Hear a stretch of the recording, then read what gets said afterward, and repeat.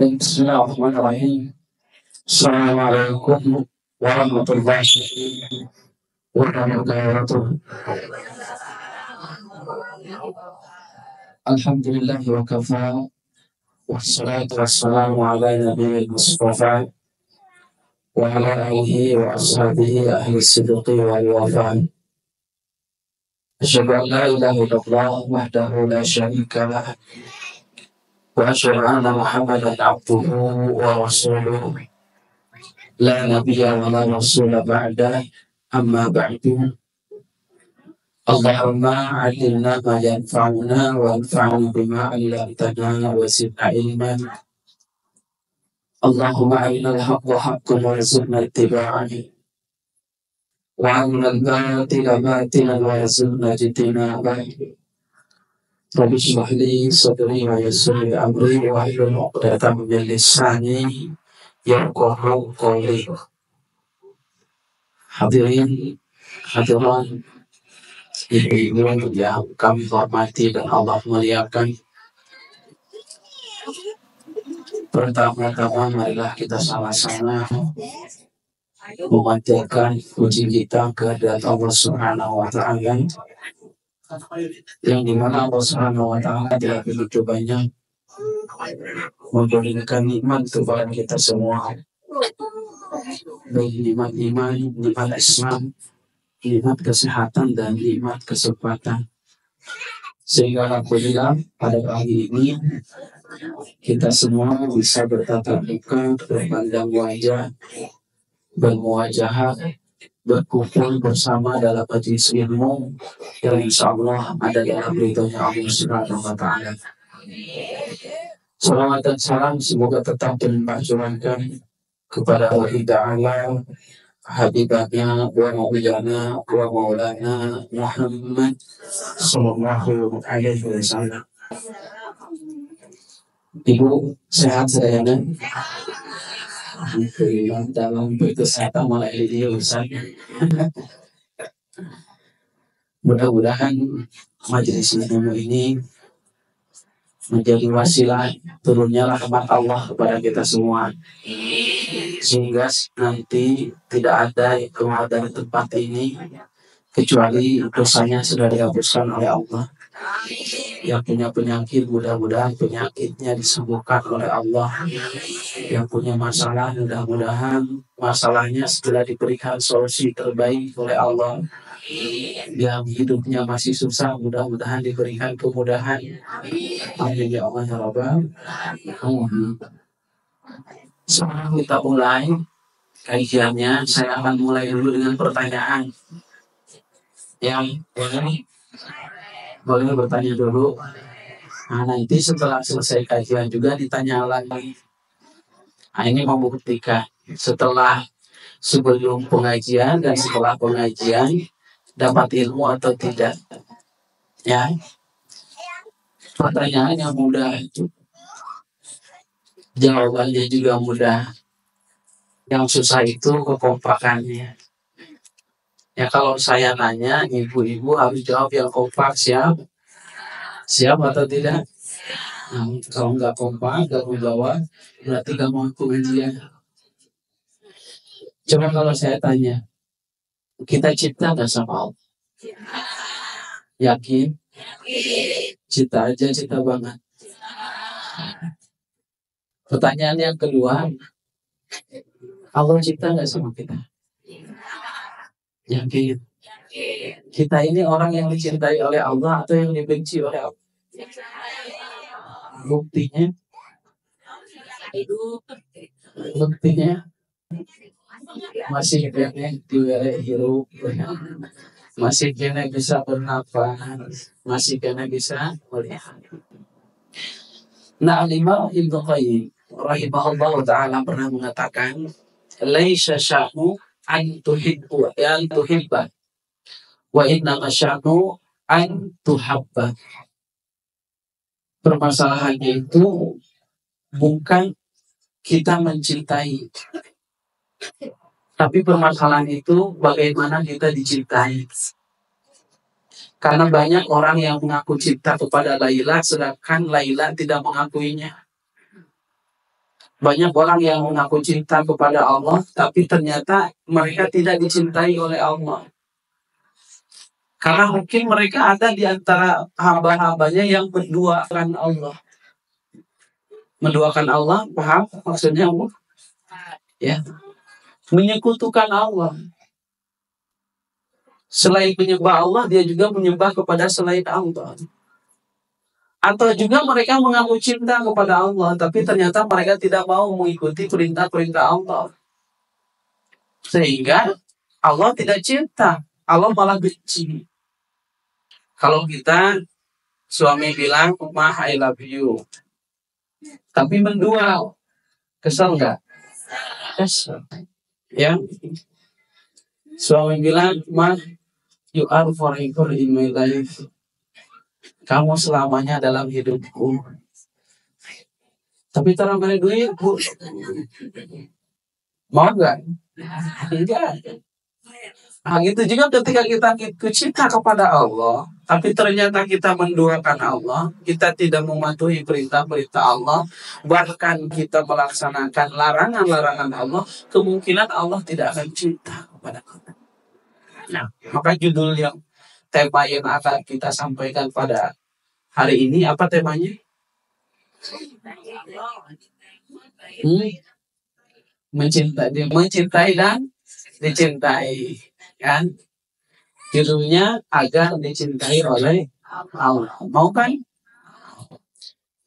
Mencintai dan dicintai oleh Allah itu merupakan sumber kebahagiaan, sumber kemuliaan, dan sumber keselamatan di dunia dan di akhirat. Ya, bahkan di dalam sebuah hadis diceritakan, ya dijelaskan. An Abi Hurairah radhiyallahu anhu dari Abi Hurairah radhiyallahu anhu Nabi sallallahu alaihi wasallam dari Nabi sallallahu alaihi wasallam. Idza ahaballahu al-'abda ketika Allah mencintai seorang hamba ketika Allah mencintai ibu-ibu ya nada Jibril sama maka Allah akan memanggil malaikat Jibril kemudian Allah berkata kepada Jibril Ya Jibril, ini uhibbu fulanan. Wahai Jibril, aku suka kepada orang itu. Aku suka kepada si fulan. Aku suka kepada ibu yang itu, kata Allah. Fa'ahbibhu. Maka cintailah orang itu, wahai Jibril, wahai kamu. Jibril. Maka Jibril pun mencintai orang itu. Thumma ada Jibril fi ahli sama.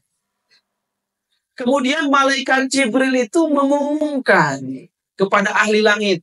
Para malaikat yang ada di langit kumpul, kata malaikat Jibril. Malaikat bertanya, Jibril ada apa? Maka kata malaikat Jibril, Inna Allah yuhibbu fulanan fa'ahibbuh. Sesungguhnya Allah itu mencintai seseorang. Mencintai fulan. Maka cintailah oleh kalian, wahai para penduduk langit. Maka fayuhibbuhu ahli sama. Seluruh malaikat di langit pun mencintai orang tersebut.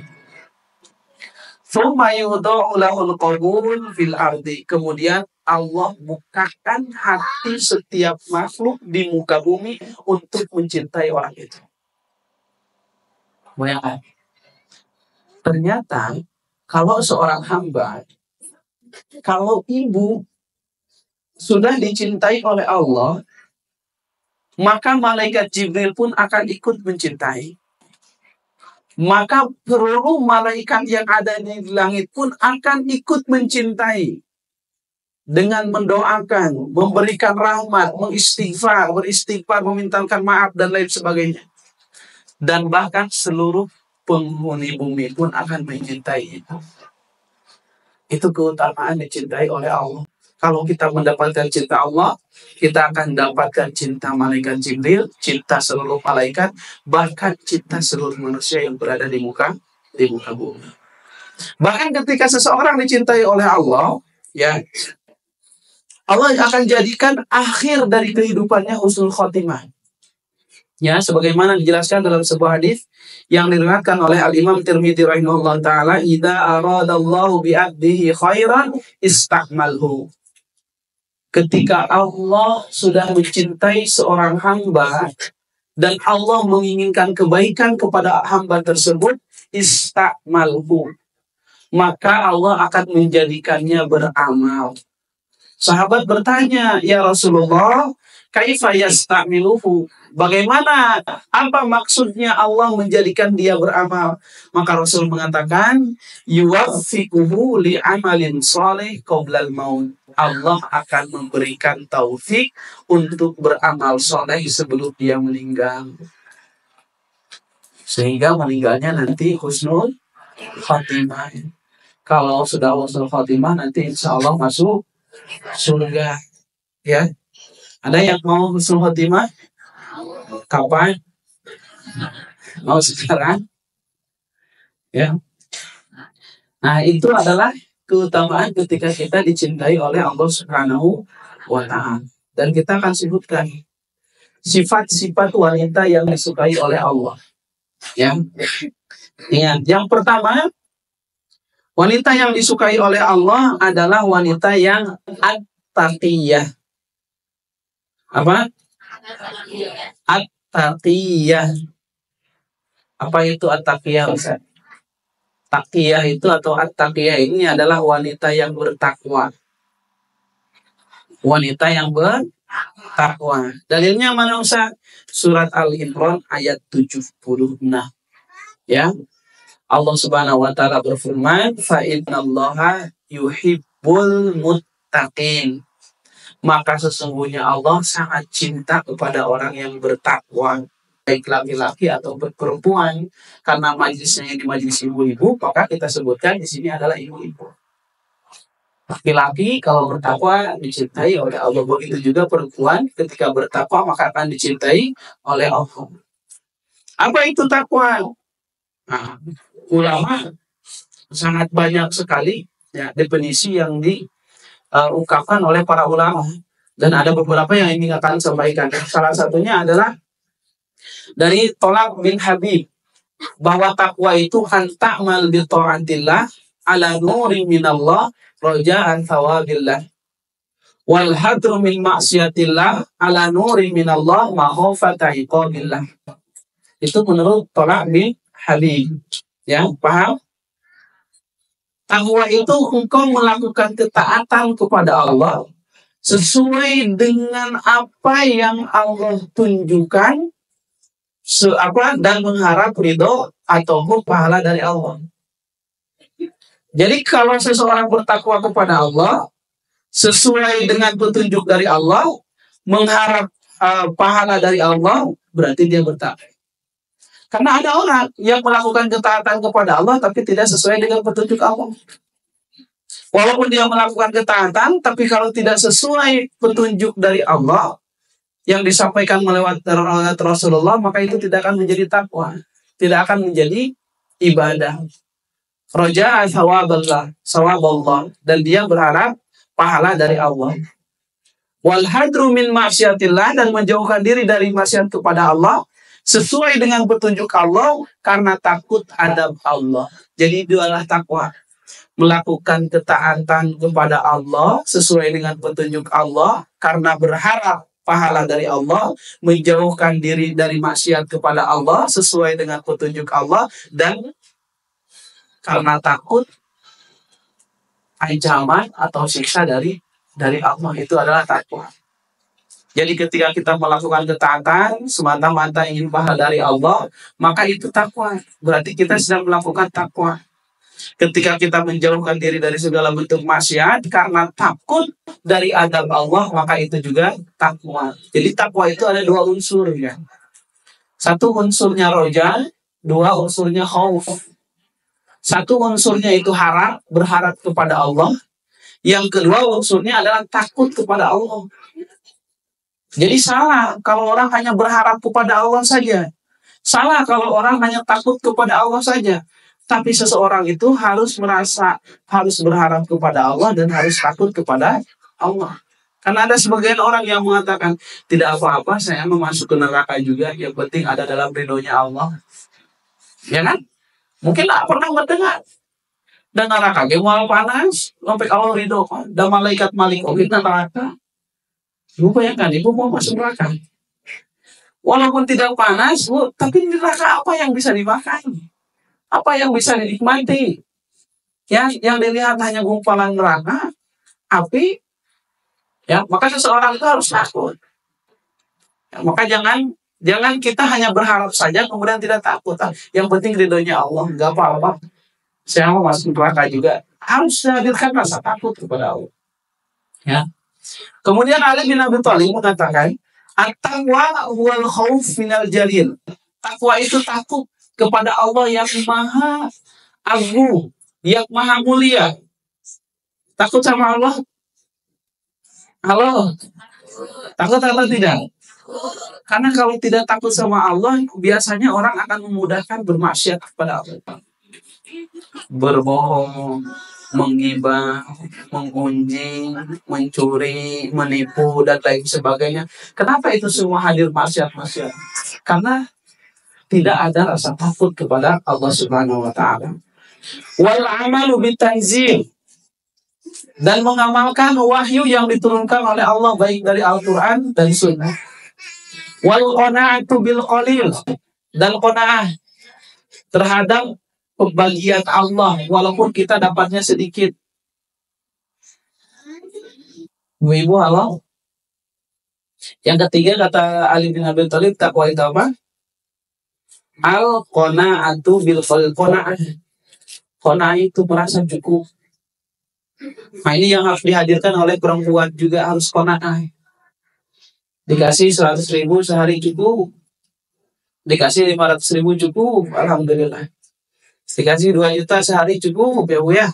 Kona'ah. Cukup Bu? Cukup. Eh. Kona'ah. Berapapun yang ibu terima dari suami, ibu harus merasa cukup. Ya.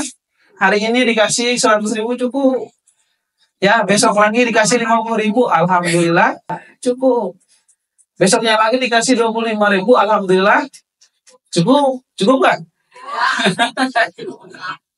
Ya. Karena orang yang kona itu akan merasa tenang hatinya, Bu. Ya. Karena kona ini merasa cukup saja. Tidak merasa kurang. Yang sering membuat kita resah, gelisah, gundah gulana, galau melau itu karena kita merasa tidak cukup. Sehingga kita tidak tenang. Ya, makanya kita minta kepada Allah, berdoa Allahumma agnini bihalalika an haramika. Ya Allah, cukupkanlah aku dengan yang halal. Rizki yang halal darimu. Sehingga aku tidak mengambil rizki yang haram. Minta kona'ah. Ya, sebagaimana seorang penyair mengatakan, "Idza kunta da qalbin qanu fa anta wa malikud dunya sawa." Kalau kamu memiliki hati yang qanaah, maka kamu dengan raja atau pemilik dunia itu sama saja. Ya. Kalau kita ditanya mending kaya mending cukup. Kenapa mending cukup? Hah? Karena orang kaya belum tentu cukup. Orang cukup pasti kaya. Benar kan? Kita mau minta kaya kepada Allah. Minta cukup aja. Allah cukupkan kebutuhan saya. Buat bayar SPP anak, cukup. Buat beli motor baru, cukup. Pengen mobil, uangnya, cukup. Ya. Mau umroh, uangnya, cukup. Kaya belum tentu bisa. Mau bikin rumah tiga lantai, cukup. Jadi yang penting hidup itu cukup. Ya, dan ternyata cukup itu ada dalam hati kita kona. Kona itu merasa cukup walaupun dengan uh, rezeki yang sedikit aja. Ya. Kemudian yang keempat kata Ali bin takwa itu al istidadu liyawmil rahil kita mempersiapkan diri berbekal untuk hari kembali kepada Allah Subhanahu wa taala. Karena perjalanan menuju akhirat itu jauh. Ya, jauh sekali perjalanannya itu. Kita sekarang baru nikmat. Hanya baru tahap keberapa kita itu. Di padang masalah aja kita menunggu kehadiran Allah nanti dikumpulkan di padang masa setelah dari kiamat. Kita juga nggak tahu kiamat berapa puluh tahun lagi. Itu khamsina alfasana selama 50 ribu tahun. Eh sekarang kita udah berapa tahun di dunia? Ya? Sudah ada yang 100 tahun? Belum ada. Paling banter di sini mungkin ya 30 tahun ya. Masih muda semua semangatnya bu semangatnya gitu kan perjalanan yang jauh maka harus dipersiapkan.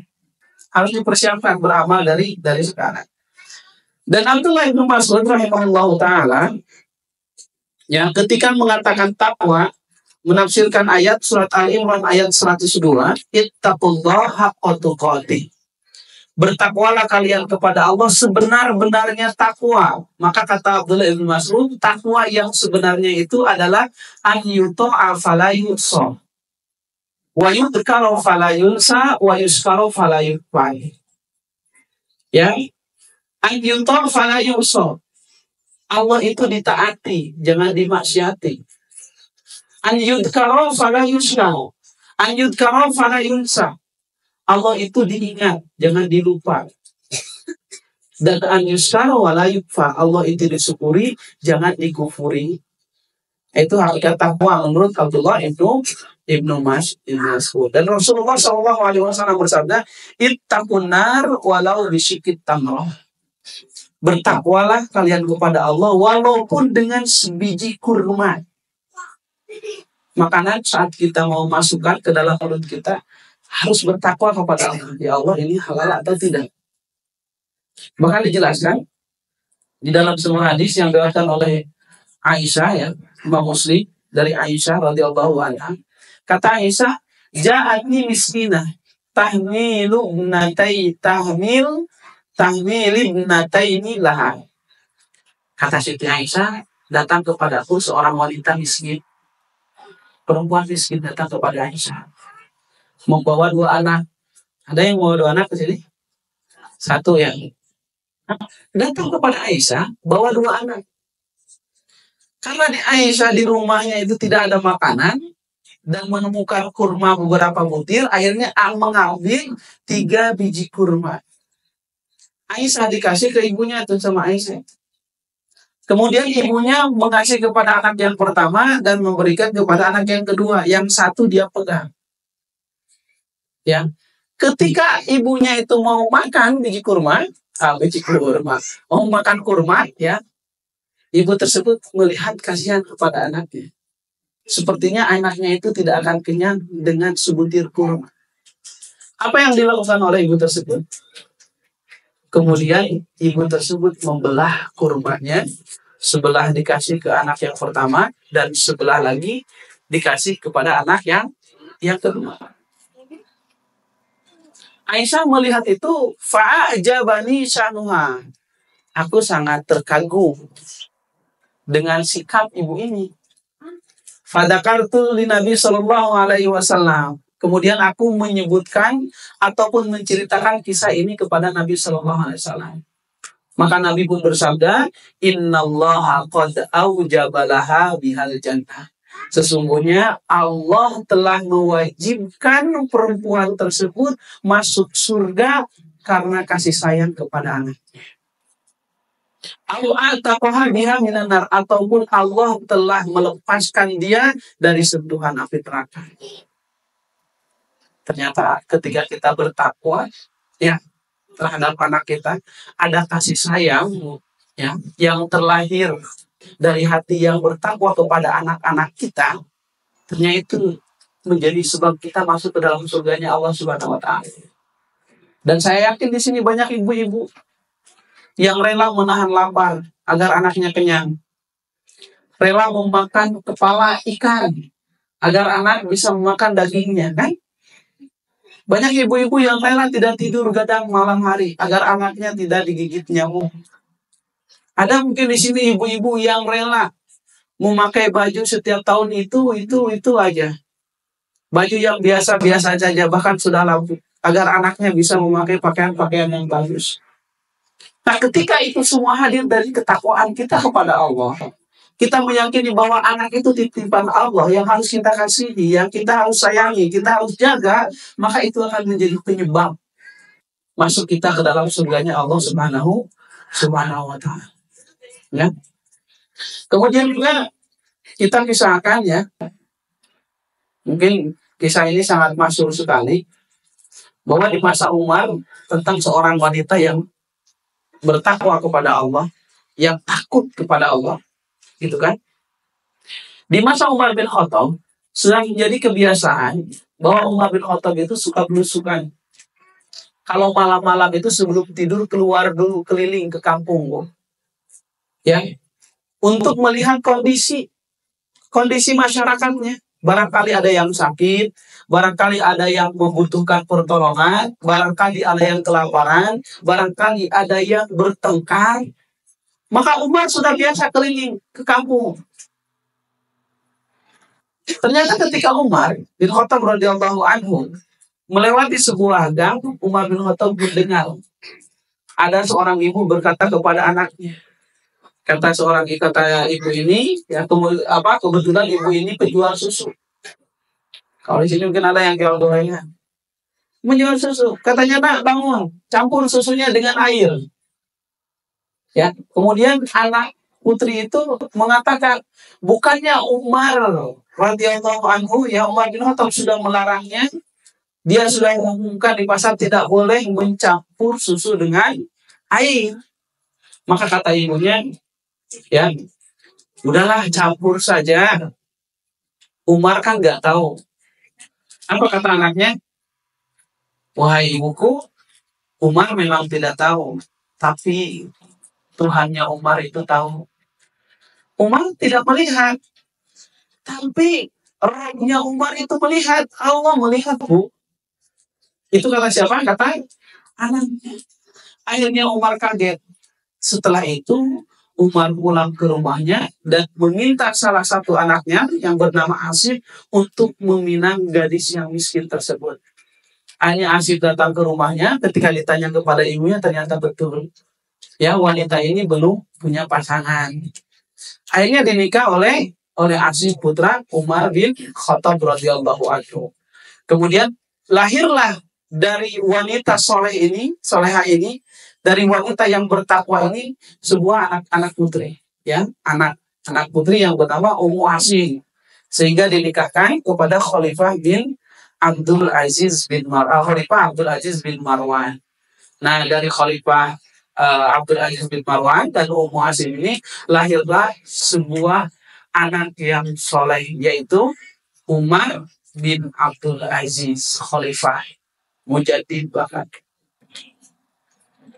Halo? Paham ceritanya? Ya, itu.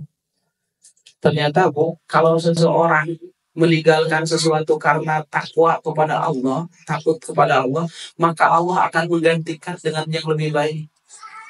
Perempuan ini meninggalkan mencampur susu dengan air. Diganti oleh Allah dengan jodoh anaknya presiden. Hah? Ya kan?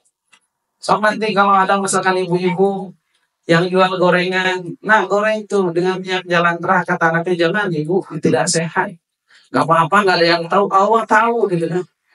Hah? Hari Jokowi masih punya anak putra. Udah nggak ada. Udah bilang ke semua. Ya minimal atau dengan anaknya RT, Pak Lurah ya. Kita nggak tahu. Ternyata ketika kita bertakwa kepada Allah, meninggalkan sesuatu karena takut kepada Allah, ternyata Allah gantikan dengan dengan yang lebih baik. Ya. Makanya jangan ragu kita meninggalkan sesuatu yang dibenci oleh Allah.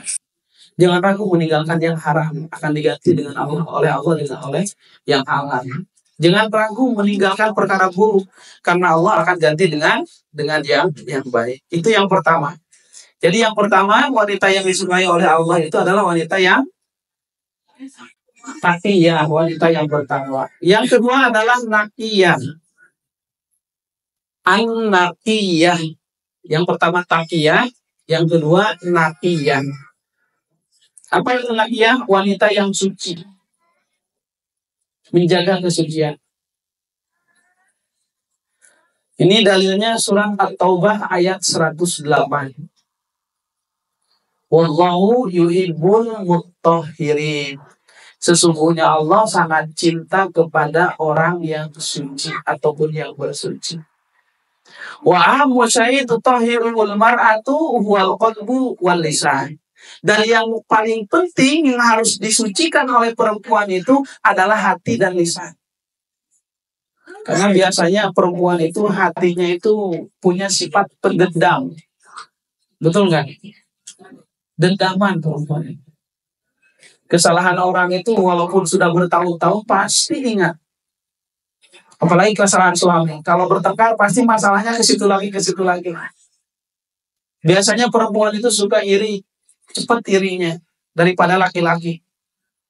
Maka yang paling penting ada dua hal yang harus disucikan dari perempuan. Yang satu adalah hati, yang kedua adalah lisan. Yang pernah ada kisah Lukman Al-Habasi.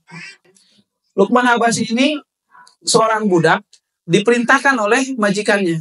Kata majikannya, Lukman, ini ada kambing. Silakan kamu sembeli kambing ini. Kalau sudah disembeli, saya minta dua anggota tubuh terbaik dari kambing ini. Akhirnya Lukman pergi, Bismillah, disembeli kambingnya, kemudian datang kepada majikannya, memberikan dua anggota tubuh terbaik dari kambing tersebut. Ternyata apa yang diberikan oleh Lukman? Lukman memberikan kepada majikannya itu hati dengan lisan. Kaget, kenapa ngasih hati dengan lisan? Tapi tidak mau ngomong tuh majikannya. Akhirnya ketika hari apa namanya hari kemudian berikut apa hari kemudian beberapa hari kemudian majikannya itu manggil Lukman lagi. Lukman sini. Ada apa wahai majikanku, tuanku kata Lukman. Kata majikannya, ini ada kambing nih, sembeli lagi oleh kamu. Kalau sudah disembeli, berikan kepadaku dua anggota tubuh terburuk daripada kambing ini. Akhirnya disembeli oleh Lukman, bismillah, disembeli, diambil dagingnya semua, dikasihkan kepada majikannya. Dua anggota tubuh terburuk yaitu hati dan lisan. Nah, akhirnya majikannya bingung ini. Kenapa Lukman ini?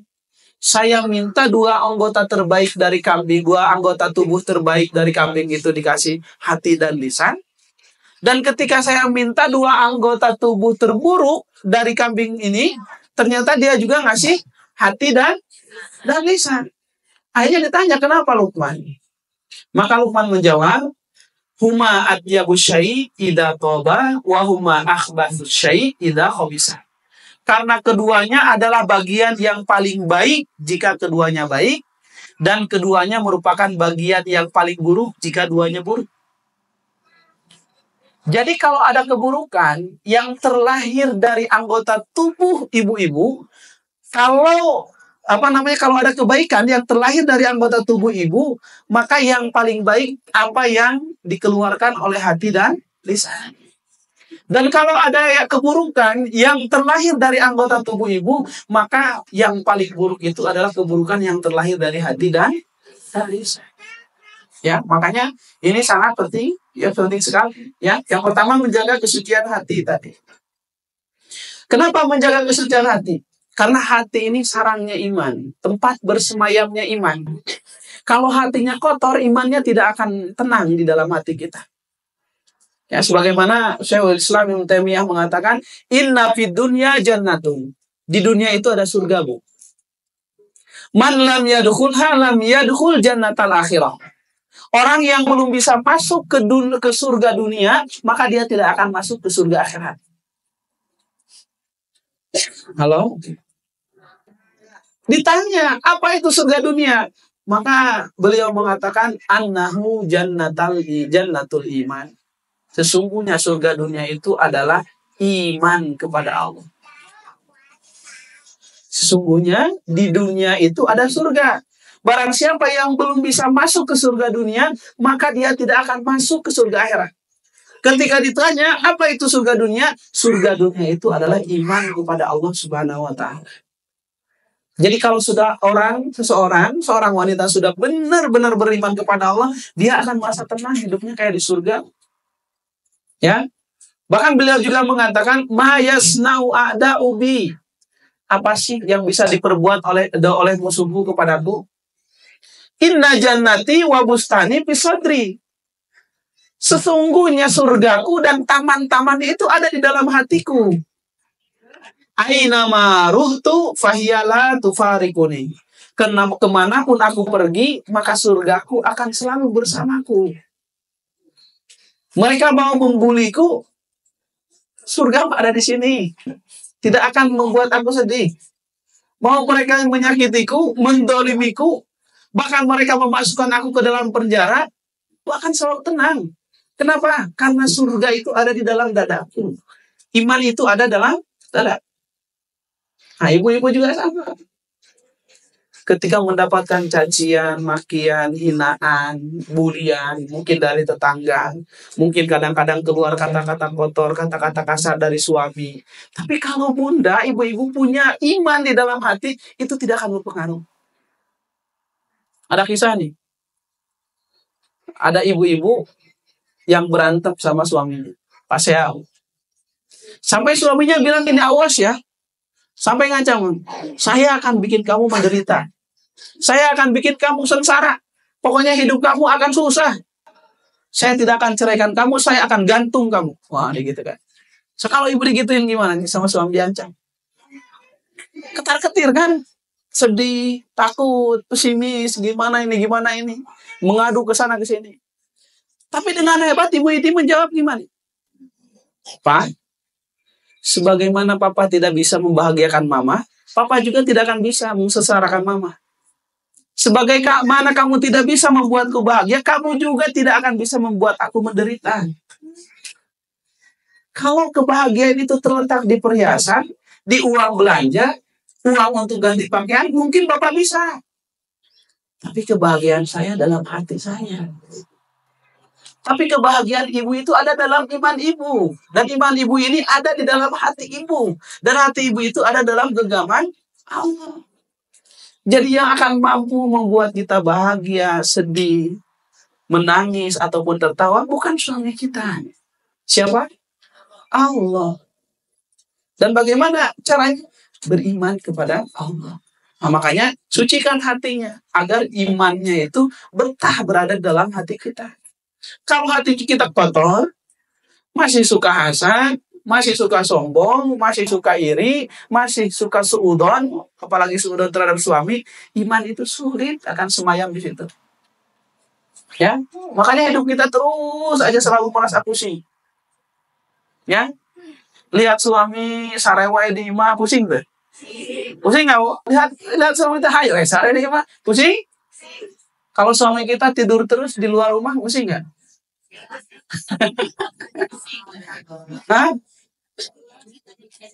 Lihat suami tidur terus di rumah, pusing. Lihat suami tidur di rumah orang terus, pusing juga gitu kan. Terus ibu mau nyapa gitu. Ya. Maka jaga hati hati kita karena ini uh, tempat sarangnya iman. Kemudian yang kedua, karena hati ini adalah rajanya raga. Hati ini adalah rajanya raga. Sebagaimana Rasulullah SAW bersabda, Ala wa inna fil jasad mudghah. Ketahuilah bahwa di dalam jasad kita itu ada mudghah, segumpal darah. Ida solahan, kalau benar mudghah tersebut solahal jasad kullu. Maka akan benar pula seluruh aktivitas anggota tubuh kita. Wa ida fasadat, tapi kalau mudghah itu pasad, rusak, fasad sa'iru amali. Maka seluruh amalan-amalan kita juga akan rusak. Dan mudghah itu adalah adalah hati. Jadi hati itu merupakan titik sentral. Baik dan buruknya apa anggota tubuh kita itu akan sesuai dengan hati kita.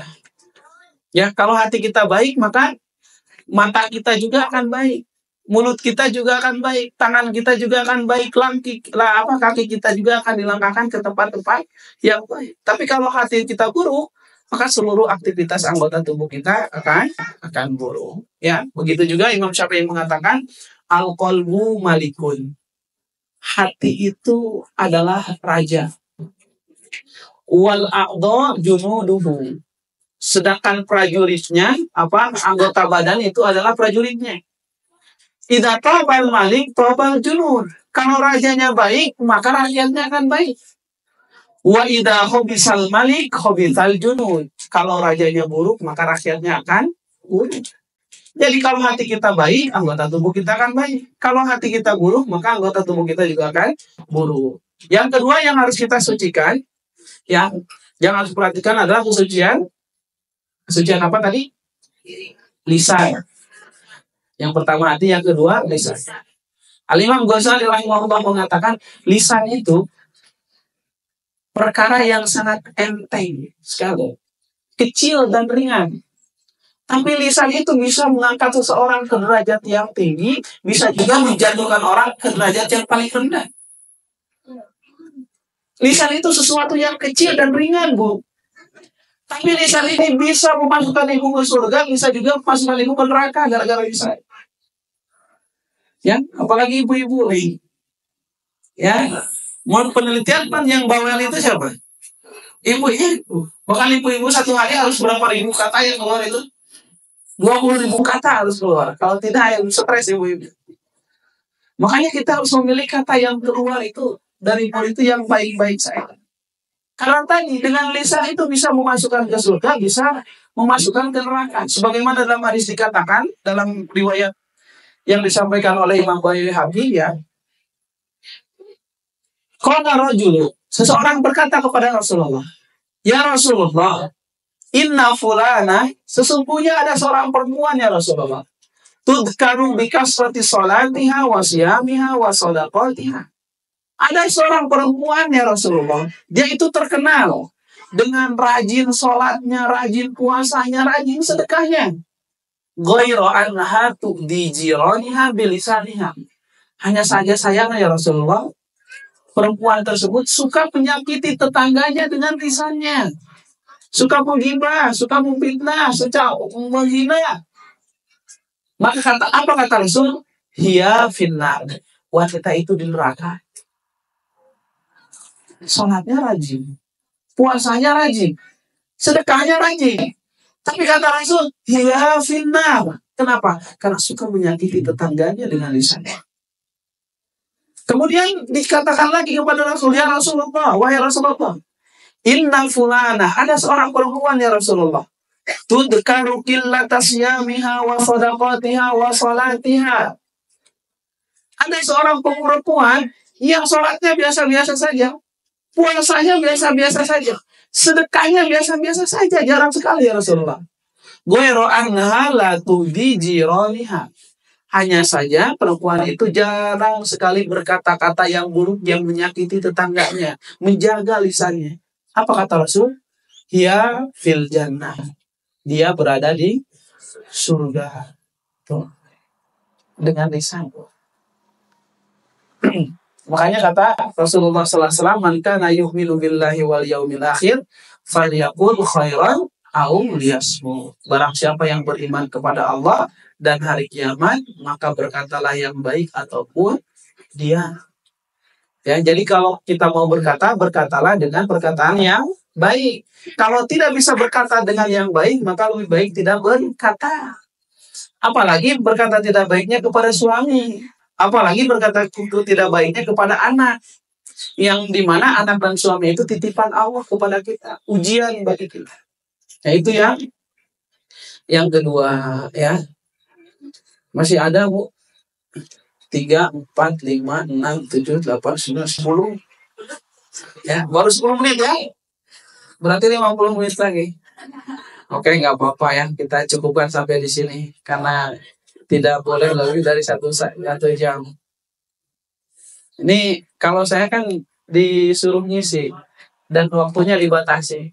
Kata Ustaz Dwi, Ustaz beres, ibu-ibunya udah ngantuk. Ah, ibu-ibu ngantuk kan? Wih, nggak ngantuk tuh. Gimana? Lanjut. Satu aja lagi ya. Satu aja lagi ya. Apa Ustaz ready ya? Ini permintaan ibu-ibu ya. Satu lagi. Yang ketiga, karena witir itu sunnah ya. Kita baru dua. Witir sekarang tiga. As-sabirah. Ya. As-sabirah. Saya mau dilanjutin ya. Gak apa-apa ya. Asobiro. Apa itu sobiro? Wanita yang sabar. Jadi takiyah, nakiyah, asobiro. Baru tiga. At-takiyah, an-nakiyah, asobiro. Dalilnya surat Al-Imran ayat 146. Ya wallahu yuhibbus sabirin. Allah itu sangat suka kepada orang yang sabar. Man sabaro dhafiro. Barang siapa yang sabar maka akan sukses. Seorang ibu, seorang perempuan yang sabar mengurus rumah tangganya akan sukses. Tapi kalau tidak sabar, tidak akan sukses, gagal. Ya, karena perjalanan rumah tangga ini perjalanan yang sangat jauh sekali. Perlu kesabaran ya. Salah satunya sabar menghadapi suami. Kira-kira menghadapi suami perlu kesabaran atau tidak? Harus sabar atau tidak? Berpenampilan cantik di depan suami itu perlu kesabaran. Suami kan suka mintanya kita cantik terus di depan suami ya padahal budget buat kecantikannya tidak pernah diberikan oleh suami ya Dandannya ibu-ibu itu perlu kesabaran. Itu yang pertama pakai apa dulu? Cuci muka dulu ya. Sebelum cuci muka pakai apa? Hah? Cuci muka dulu. Setelah cuci muka pakai apa itu? Pakai toner ya. Setelah pakai toner pakai serum. Setelah pakai serum pakai pelembab. Setelah pakai pelembab pakai sunscreen. Setelah santri apa kemarin? Ya ada saya mah tuh suka panggilkan buat istri. Ya. Ibu-ibu dan makanya saya kadang-kadang ketika saya mau keluar rumah, bilang ke istri, ya keluar rumah, uh, kita mau keluar, mau ke Jampang, mau ke mana, jam berapa nih? Jam 8, padahal jam 9 ataupun jam sebelum kenapa? Memberikan kesempatan buat dia dan dulu minimal satu jam. Ya. kesabaran. Termasuk di dalam melayani suami perlu kesabaran. Bu ketika kita melayani suami itu itu adalah ladang amal bagi kita. Ladang pahala. Apalagi ibu-ibu yang hanya diam di rumah saja tidak apa ibadahnya kecuali melayani suami, mengurus anak, mungkin ibadah, secukupnya di rumah. Makanya ketika suami nita itu tak nita aja. Ya. Mah bikin kopi, nyiu nih sorangan. Kadang-kadang kayak gitu. Mah banyak dengan saudara, mana bapak tuh bukan suku. Ya. Kadang-kadang kita seperti itu. Berarti kita harus Sabar. Apalagi saat ada suami yang tidak pengertian. Ya, ayo helita. Mereduita Sarai putih. Gawentan. Kadang-kadang pusing gitu ya. Tapi tetap kita sebagai seorang istri itu harus tetap sabar mentaati perintah suami. Bayangkan, Rasul mengatakan seperti ini, Bu. Lau kuntu amira li ahadin an yasjuda li ahadin la amartu nisa an yasjuda li zawjiha. Kalau aku memerintah seseorang manusia untuk sujud kepada orang lain, niscaya aku akan memerintahkan seorang perempuan sujud kepada suaminya. Kalau diperbolehkan oleh Allah seseorang sujud kepada seorang, niscaya Rasul akan memerintahkan perempuan sujud kepada kepada suaminya. Ya, makanya ibu kepada suami itu benar-benar harus sabar ya dalam mentaatinya dalam apa namanya melayaninya ya. Karena kalau anak kan anak itu setelah taat kepada Allah dan kepada Rasulnya kunci surganya ada pada kedua orang tua. Tapi seorang istri setelah taat kepada Allah dan Rasulnya kunci surganya itu adalah suaminya. Kalau kita pernah mendengar hadis Ridho Allah fi ridho walidain. Ridhonya Allah ada pada ridho kedua orang tua. Maka ridhonya Allah itu bagi seorang yang sudah menikah itu ada pada ridho suaminya. Kalau suami ibu ridho, maka Allah ridho. Tapi kalau suami ibu marah, benci, Allah akan marah. Makanya jangan pernah kita menentang suami, melawan suami, bahkan menyakiti hati suami, mengingkari kebaikan-kebaikan suami. Ya, karena Rasulullah SAW pernah ketika diisrakan dimirajkan kan Rasul diperlihatkan kepada neraka Rasul mengatakan waqaftu ala abwabil jahim atau jahanam aku pernah berdiri di depan pintu neraka faraitu aktsar ahliha nisa maka aku melihat ternyata penduduk neraka itu banyaknya wanita perempuan ya Lalu lima ya Rasulullah. Sahabat bertanya, kenapa ya Rasulullah? Kenapa banyak wanita di, di neraka ini? Qala bikufrihinna. Karena perempuan itu banyak yang kufur. Sahabat bertanya lagi, Ayat furna billah ya Rasulullah. Apakah mereka kufur kepada Allah, ingkar kepada Allah? Tola yakfurnal ashir. Tidak. Mereka itu kebanyakannya kufur terhadap suami mereka. Ingkar terhadap suami mereka tidak taat terhadap suami mereka. Lau asan ilai hadara thumma ra'at min kasai'an qalat ma ra'aitu min khairan qattu. Kalau seorang suami berbuat baik kepada uh, apa namanya? kepada seorang perempuan, kepada istrinya, sepanjang waktu kemudian suaminya melakukan satu kesalahan maka kebanyakan istri mengatakan aku tidak pernah melihat kebaikan pada diri itu ingkar Kayaknya hati-hati ya Makanya harus sabar dalam mendidik anak sabar. Ya. Mah kopi, mohon Pak. Mah nasi goreng, mohon Pak. Mah pakai telur ceplok, mohon Pak. ya. Walaupun kita punya pembantu di rumah, ada yang punya pembantu?